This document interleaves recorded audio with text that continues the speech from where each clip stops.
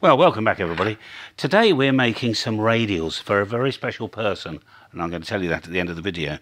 But to make radials, I've always found a screwdriver really handy, and I'll show you why. On this channel, I get more comments about radials than anything else, so I'm just going to discuss this with you here, all right? A ground-mounted vertical, if you take the braid of the coax, the braid needs to be coupled to the ground. And one of the easiest ways of doing that is to lay out radials, bits of wire on the ground. If you put two wavelengths of radials on the ground, you're not going to be far, far wrong. And four wavelengths of radials, you're up there within 1.2 dB of basically optimum.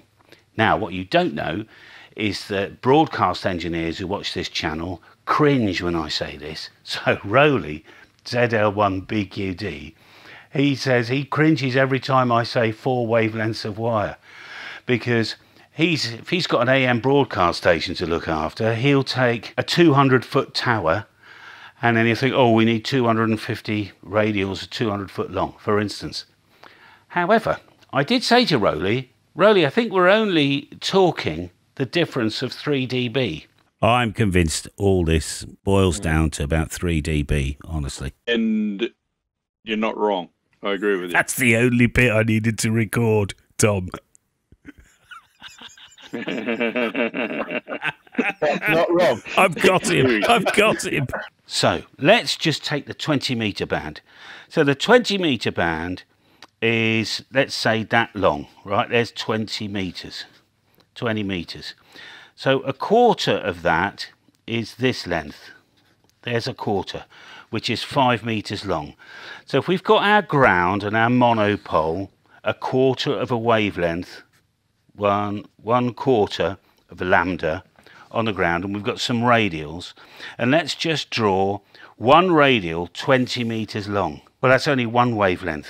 I mean, you could have four radials, one, two, three, four, all 20 meters long and there's your four wavelengths. Well, that's no good because that's not enough copper on the ground and they're too long. There's an optimum size. So the optimum size is probably about a quarter of a wavelength. So probably, but I'll, I'll come to that in a minute. Let's say we've got five meter, which is a quarter of a wavelength, and we put five out of these, a quarter of a wavelength long, one, two, three, four. There's 20 meters. So four wavelengths is going to be another 12 of these, isn't there? One, two. This is a nice little quarter wave, same size roughly as our vertical, on the ground with 16 radials. So 16 times 5 is 80 meters, I think. 6 5s are 35, yeah. Which is our four wavelengths of 20. And that's why 16 quarter wave radials work so well. And you will be within 1.2 dB of 32 radials. Okay? Now, what happens if we take our 16 5 meter radials and cut them in half? But instead of throwing them away, we'll take this bit and add it here. So we've now got 32 eighth wave radials on the ground. What happens then? Well, Rudy Severns did some really good experiments about this, and Rudy said that he did that test. And I haven't done it, and it's one of the bits of science that I'd love to do. Maybe this summer we'll get around to doing it. He said there was negli- negli- he said there was negligible difference. So 32 eighth waves or 16 quarter waves is the same amount of copper. Now, some people then say to me, well, what happens, Callum, because I've got a fence or, you know, the pigsty next door, whatever else. I've got a fence here, my pole's going up there. Can I just put radials 180 degrees? And what length should they be? Doesn't matter. Somewhere between two and four wavelengths, you'll, you'll do fine. If you do 180 degrees, you'll still get out. Of course you will. You'll still get out if you do 90 degrees. You're not paying $100,000 a year for a broadcast license. This is a hobby. And at the end of the day, you're still only ever going to be within 3 dB of perfect. Here's Grandad. Hello, Grandad. How are you today? Oh, brilliant. Hello, how are you? Come in, shut the door. You're screwing up the video. You're not really. So that was just a nice distraction. We had uh, Keith, that's Emily's dad, and his girlfriend, Emily. Lovely. Okay, first time they've seen a unit, you see. So the other question I get is uh, how long do my radials be? But how the other question I get is how long do my radials need to be? If you've only got 90 degrees in the corner of a garden, well, just take what you've got and stick it down. Because at the end of the day, it's still going to work. You're not, I remember saying that um, you don't pay a broadcast license. It's not like you've got to get every dB in every direction. It just it doesn't matter. You'll never notice. You'll still have a ball and enjoy your radio. Okay, so that's the key. Right, with that said, at four wavelengths, okay, we're back to the original problem, which is 80 meters of wire.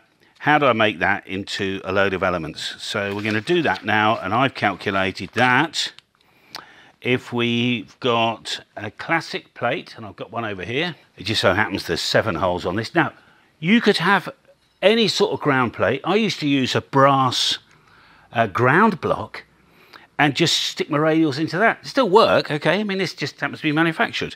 But I've got one, two, three, four, five, six, seven holes. So if I put, I've got seven holes, and let's say I make all my radials three meters long, and I put four radials in each fork connector, which I'll show you in a minute. Then we've got three three sevens at 21, four 21s at 84, because that is a 100 meters reel of DX10 made for us in England. And now I'm going to show you why we need a screwdriver. So, I'm one of these people who likes making things easy. I could just as easily take this reel of wire and reel it off and it would all go on the floor, or I can make life nice and easy for me. So we're going to peel the outside cellophane off. And by the way, any 100 metres of wire or any 84 metres of wire would do. You could get old Ethernet cable and strip it all down. You don't need professional radial wire. Now it just so happens I know I've got a mark over here for three meters. So I'm going to get the Bahco cutters, remove the trip hazard, and I'll cut four of these at a time. So I'll take my first three meters, which is to that little black mark just there. Lockie's showing you now. One.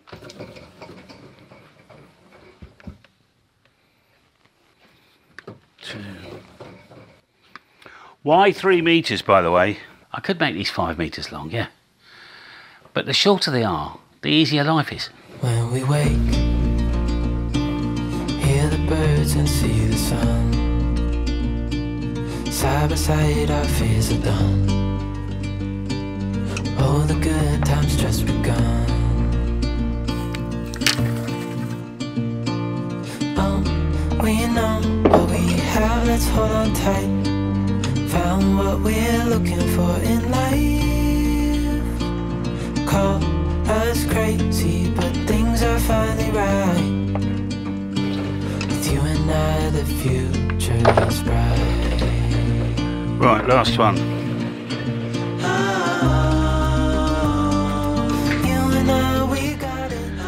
Now I'm building these radials for my own kit, but don't forget any bit of alloy or brass or copper that you've got. I mean, this is an old 1U rack. You could chop off, put a 16 millimeter hole in there, grab yourself an SO239, you know, bolt it on. And that automatically now, the braid of your coax is now grounded to this. Drill some holes, you know, fork connectors, crocodile clips, whatever you do. And there's a ground plate. For instance, DX Engineering does a stain, stainless steel plate with lots and lots of holes all the way around the edges and something in the middle for your, for your vertical to come up but you don't need one hole for one radial. You know, I, one roll does one hole. In our case, uh, you could get two fork connectors. You could have eight, but there we are. So I'm going to do is I'm going to graft a fork connector onto here. Okay, so I've now been stupid. And I need the razor blade. So silly me, I've um, instead of doing what I do a field day tail so I can get the insulation tape off, I managed to graft it all together. Anyway, we got it off now. So let me just uh, strip some of these back.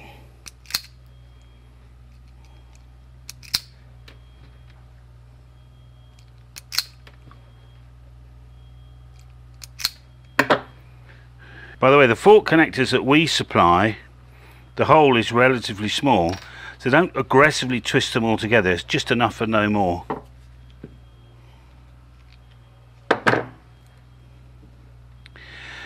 Marine glue lined heat shrink. I supplied these in DX Commander kits by the way. Slip that on. If I've played my cards right, that should go in there.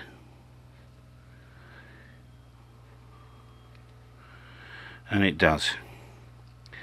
So, do we have a pair of pliers, Lockie, or something? I can just nip these up. These are really blunt. These are quite good. I'm just after a basic mechanical. I'm not trying to crimp them. I'm just holding it.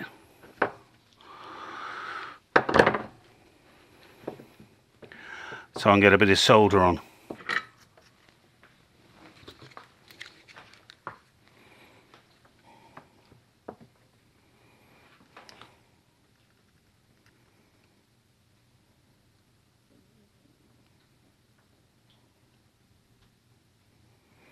Just let it heat up a bit.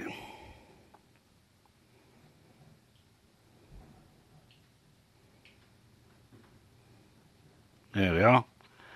It's flooding in. Lovely jubbly.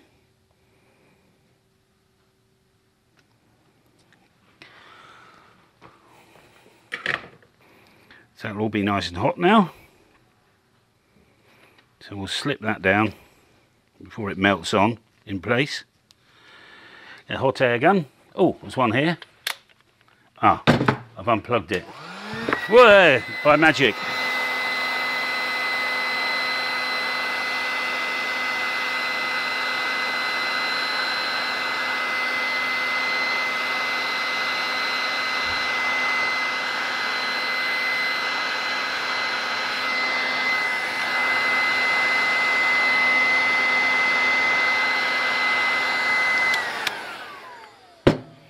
I'm trying to get enough glue down there that actually there we are. It's just to stop the moisture getting in. So that's one done. I will rinse and repeat. I know you're all waiting for me to cock this up but the trick is not if you've got a small fork connector not to twist these together too tightly, just enough.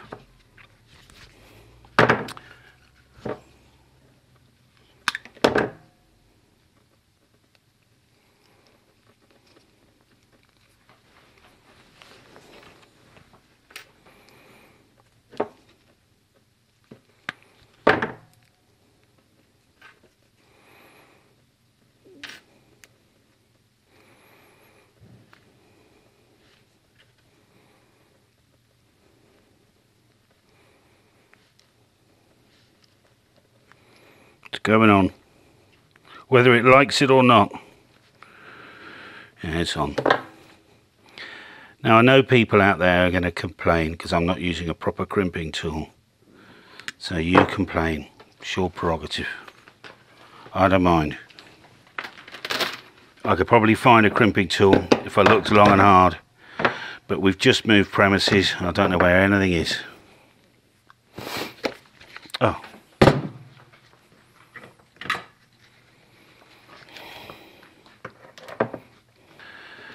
let this heat up.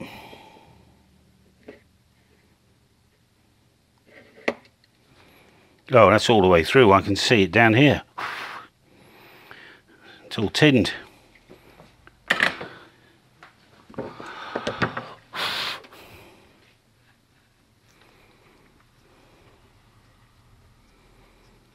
So I'm sliding that a bit further down on this one.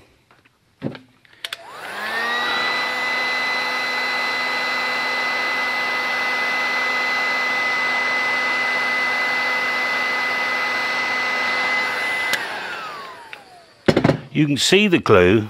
It's poking out the back here as well. Good. When we wake, hear the birds and see the sun. Side by side, our fears are done.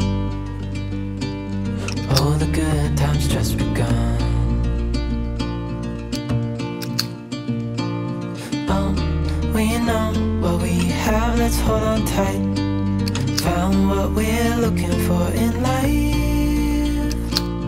Call us crazy, but things are finally right. With you and I, the future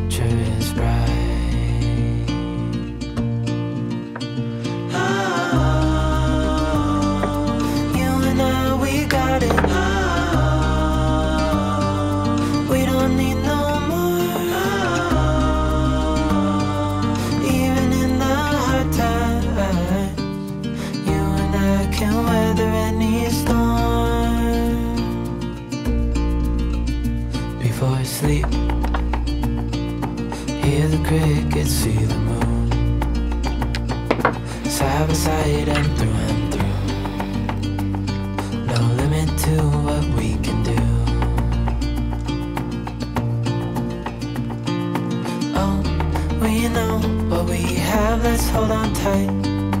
Found what we're looking for in life. Call us crazy, but things are finally right. With you and I, the future is bright.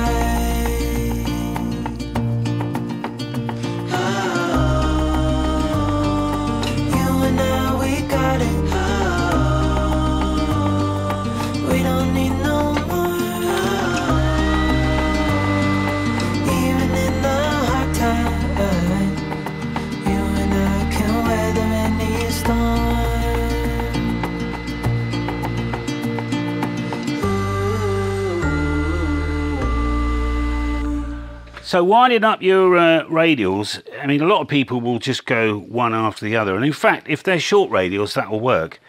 But if you watch Matt Heere's video, and I never know quite how to pronounce Heere, H-E-E-R-E, link in the description. All right, his video last night. He's he was doing his radials where you do standing on them, where you do one normal overhand, and then you grab the wire and you come under, and if you just pick up the end and throw it, it'll automatically come undone. It's a really cool method, and I I forgot I'd had actually forgotten how to do it, but he reminded me, so that's what I've just done. Now, watch Matt's video, and he'll actually he does a little review of the DX Commander Expedition.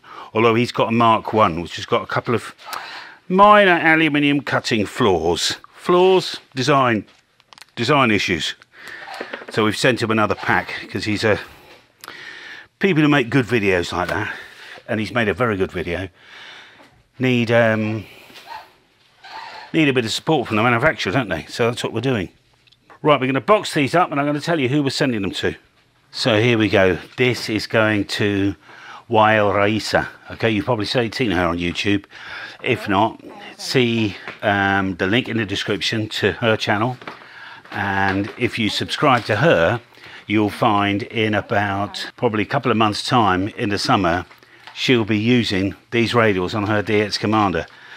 Now I know that Race and Emily want a QSO, so they've um, Emily's written Race a little QSL card, so that should be fun. I've done a one as well, saying I made these for you. And Lockie's just packing now. If you want to know more about radials, see this video here. I cover some topics that I might have missed today. All right, you'll enjoy it. See you later. Bye.